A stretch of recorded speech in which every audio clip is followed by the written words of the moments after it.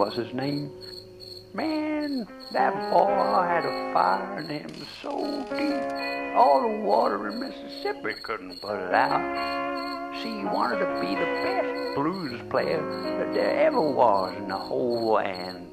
He went down to the crossroads. There met the devil, made some sort of trade. Made a pact with that devil. He said, Devil, you give me all the powers I need and you can have my soul. By that big old tree in Asheville, Tennessee. By the cotton fields.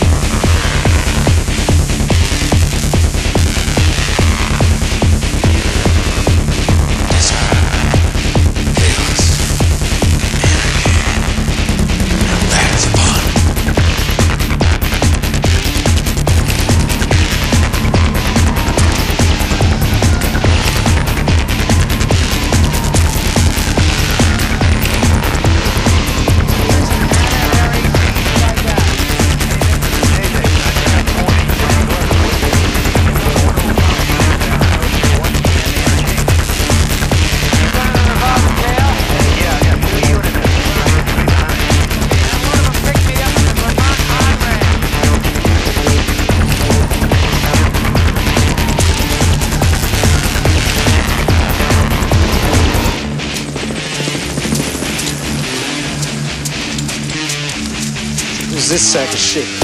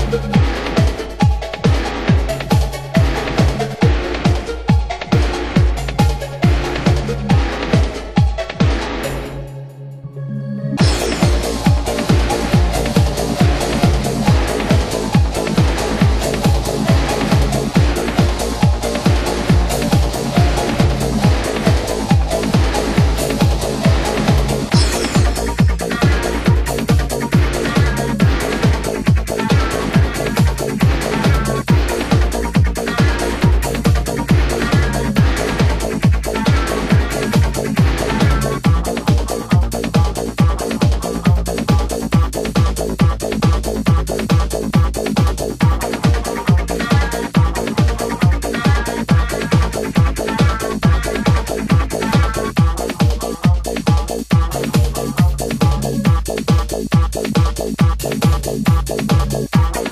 you.